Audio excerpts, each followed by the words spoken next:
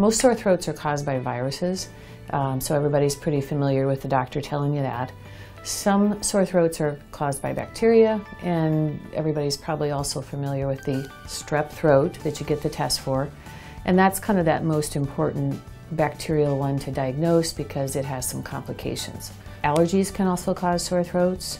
Reflux, which is acid coming back up from your throat, can cause sore throats. Then a variety of other minor things that you have to worry about if, you, if you're a smoker.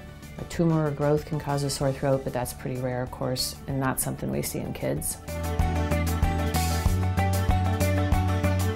A fair amount of the time, it's okay if you don't go to the doctor for a sore throat. If it's a mild sore throat, lasts a day or two, probably not worth going to the doctor.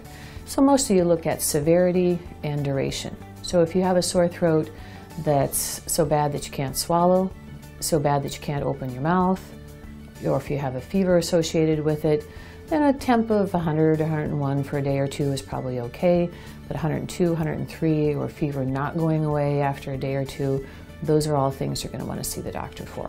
A sore throat, if it's in that five to seven day range and it's not getting any better, good time to see the doctor. If you've got a sore throat that's kind of more not the acute one, but kind of chronic, if it's going on for a couple weeks, definitely you should see the doctor in that, in that time frame. When you go into the doctor and it's more of an acute sore throat, you're probably going to end up with a strep test.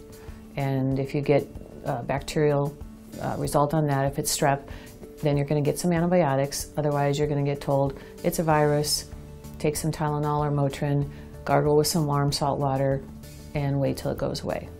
If it's more complicated, if it's something due to allergies or reflux as determined by your physician, then you're possibly going to get some treatment for your allergies, possibly some dietary changes to, to try to treat your reflux.